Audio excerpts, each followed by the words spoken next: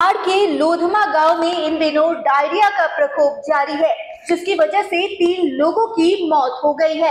इस पूरे मामले पर पड़ताल के लिए 99 न्यूज़ की टीम गाँव पर पहुँची। तब पता चला कि यहाँ डायरिया की वजह से तीन लोगों की मौत हो गई है। वहीं स्वास्थ्य विभाग भी अब तक गाँव में नहीं पहुँच पाई है।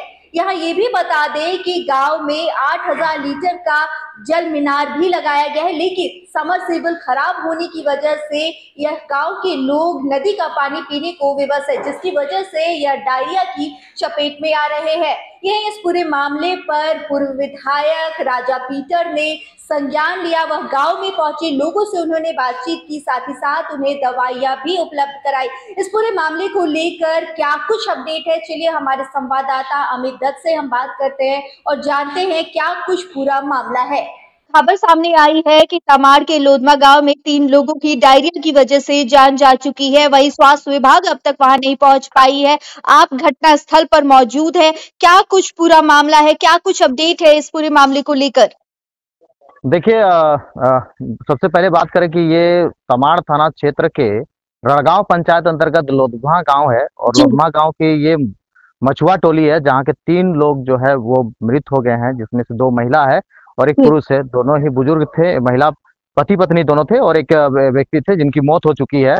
और सबसे बड़ी बात करें यहाँ पर बिल्कुल स्वास्थ्य विभाग की ओर से कोई भी पहल देखने को नहीं मिली है। यहाँ पर यहाँ पर पूर्व मंत्री राजा पीटर की टीम व्यक्तिगत रूप से यहाँ पर पहुँची है और कुछ कुछ दवा जो है वो उपलब्ध करा रही है।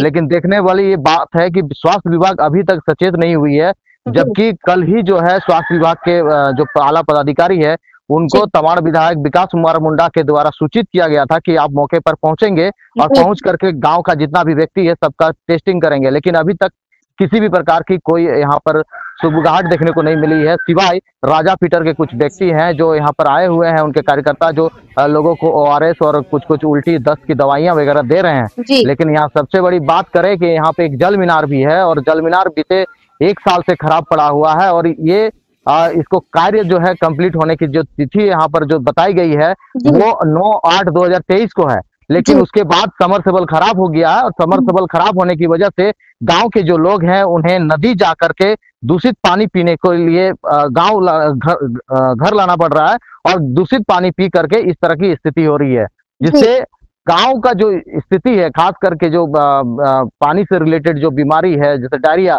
वो डायरिया की चपेट में पूरा गाँव जो है वो आ चुका है। छोटे छोटे बच्चे हैं, बूढ़े बुज़ुर्ग हैं और इस तरह से जो है कल तीन लोगों की मौत हो चुकी है। जी। जी जी बिल्कुल अमित जिस तरह से आपने बताया कि तीन लोगों की मौत हो गई है गाँव में पानी की व्यवस्था नहीं है आठ हज़ार लीटर का जल आ, का जो जल जीवन मिशन के तहत जल मीनार लगाया गया था वह भी एक साल से खराब है क्योंकि जो तारीख आपने बताई वो दो हज़ार तेईस का है आठवें महीने का यानी कि अगस्त के महीने का है वो एक साल से ऊपर का वक्त हो चुका है लेकिन उसको अब तक ठीक नहीं किया गया है। वहीं एक और हमने कुछ समय पहले भी बुंडू के ही क्षेत्र में किसी गाँव में देखा था जहाँ पे डायरिया और डेंगू का प्रकोप देखने को मिला था। कई दर्जन लोग वहाँ पे भी थे और लगातार उल्टी हो रही है। और इसके बाद अगर स्वास्थ्य विभाग किसी तरह की का एक्शन नहीं लेती है तो ये काफ़ी ज़्यादा निराशाजनक है। या स्वास्थ्य विभाग के किसी पदाधिकारी से आपकी बात होने की कोशिश की क्या आपने?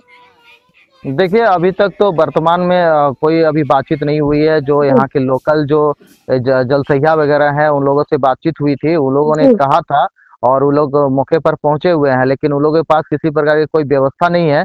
ना उन लोगों के पास में किसी प्रकार की मेडिकल किट वगैरह है ना कोई दवाइयाँ हैं। तो जिसके कारण से उन लोगों का ये कहना था कि आला अधिकारियों से बात हुई है वो लोग मौके पर पहुँचेंगे लेकिन अभी टाइमिंग जो है लगभग सवा दस बज रही है। अभी तक किसी भी प्रकार का कोई टीम यहाँ पर देखने को नहीं मिला है। और ग्रामीण भी अपने स्तर से अपने जो घर द्वार है आसपास के जो भी जो आँगन है उसको साफ़ सफ़ाई कर रहे हैं लेकिन यहाँ पर सबसे बड़ी विडम्बना है कि लोग गाँव से बाहर निकलकर नदी जा रहे हैं और नदी से पानी ले करके जो है घर ला रहे हैं और उसी दूषित पानी को अपने बच्चे को भी पिला रहे हैं अपने बूढ़े माँ बाप को भी पिला रहे हैं और स्वयं भी पी रहे हैं जिससे ये इस तरह की जो है बीमारी हो रही है बिल्कुल, और बिल्कुल। जिस तरह से आपने बताया कि लोग लोग दूषित पानी पीने को मजबूर है एक तरफ़ जहाँ मौत हो रही है वहीं हम्म, दूसरी ओर इस मौत को देखने के बावजूद भी पानी की व्यवस्था नहीं होने के कारण यह लोग मजबूर है कि नदी का दूषित पानी ही पिए। एक तो बारिश का मौका है इस मौके पर पानी और भी ज़्यादा दूषित हो जाता है उसमें काफ़ी तरह की मिट्टी होती है और कण पाए जाते हैं इसके बाद भी लोग पी रहे हैं और किसी तरह का कोई एक्शन नहीं लिया जा रहा है। ये तो स्वास्थ्य विभाग की उदासीनता है कि वह अब तक गाँव में नहीं पहुँची वहीं दूसरी ओर अगर देखा जाए तो जल जीवन मिशन की तरफ़ से भी किसी तरह का कार्य नहीं किया जा रहा है कि गाँव में पानी की अच्छी व्यवस्था हो सके। तो इसको लेकर भी क्या कुछ अपडेट है? क्या पानी की व्यवस्था को लेकर भी किसी जनप्रतिनिधि या फिर किसी पदाधिकारी वहाँ पर के, के तरफ़ से किसी तरह का कोई एक्शन लिया जा रहा है? देखिए पेयजल एवं स्वच्छता प्रमंडल रांची के पूर्वी जोन पर ये आता है और इसी जोन पर जो है जल जीवन मिशन के तहत हर घर हर घर जल योजना के तहत इसे जोड़ा गया था और बिल्कुल। 8000 लीटर की ये टैंकी बनाई गई थी। जिसके पाँच अगले पाँच सालों तक यदि 2023 में इसे समाप्त किया गया है तो अगले पाँच सालों तक इसकी देखरेख की पूरी जिम्मेवारी जो है संवेदक के ऊपर रखी गई थी और यहाँ पर जल सहिया भी जो है वो भी इसका देखरेख में है। पंप संचालक रखा गया है। लेकिन इन लोग का साफ़ कहना है कि जब ये यहाँ से समरसेबल खराब हो जाती है तो समरसेबल बनने में और बनाने में विभाग काफ़ी देर लतीफी करती है। और बीते नौ महीनों में आप समझ सकते हैं कि अभी तक जो है समरसिबल नहीं बना है। और इसको लेकर जो है आसपास के जो ग्रामीण है और जनप्रतिनिधि खास करके वो क्योंकि ये एक एरिया जो है वो जो है तमाड़ से बहुत ही ज़्यादा दूरी पर है तमाड़ मुख्यालय से काफ़ी दूरी है। संभवतः हो सकता है कि यहाँ पर किसी भी जो जनप्रतिनिधि है उन्हें इस बात की संज्ञान नहीं गई होगी जिसके कारण से ये अभी तक नहीं बन पाया है। और सबसे बड़ी हम बात करें कि यहाँ पर एक स्वास्थ्य विभाग के द्वारा यहाँ पर एक भवन भी बनाया गया था जो भवन भी अधूरा छोड़ दिया गया है। यहाँ पर आप समझ सकते हैं कि किस तरह से यहाँ पर कार्य को अंजाम दिया गया है और लोग गंदे पानी को पीने के लिए विवश हैं। और सबसे बड़ा सवाल है कि लोग गंदे पानी पी रहे हैं लेकिन गंदे पानी पीने के एवज में किसी प्रकार का कोई एक्शन अभी तक नहीं लिया जा सका है जिसके बाबत तीन लोग यहाँ से इस गाँव से लोधमा गाँव से अपनी जान गंवा चुके हैं। जी जी। बिल्कुल बिल्कुल अमित आपका इन तमाम जानकारियों के लिए बहुत बहुत धन्यवाद। हम आगे भी इस खबर पर लगातार आपके साथ बने रहेंगे। हम लोग को राजा पीटर के द्वारा सूचना मिला कि लदमा गाँव में डायरिया से कुछ लोग पीड़ित हैं।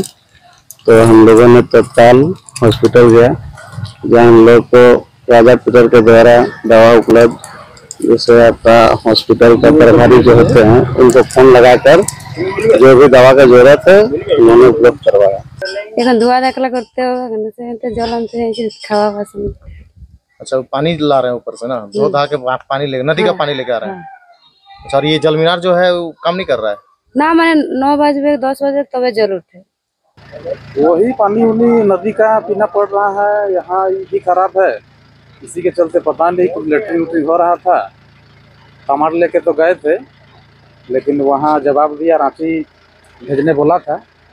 लेकिन गरीब आदमी इतना व्यवस्था जल्दी नहीं कर पाए इसके चलते रांची का व्यवस्था नहीं हुआ। फिर घर लाए तो तुरंत गेट कर गया।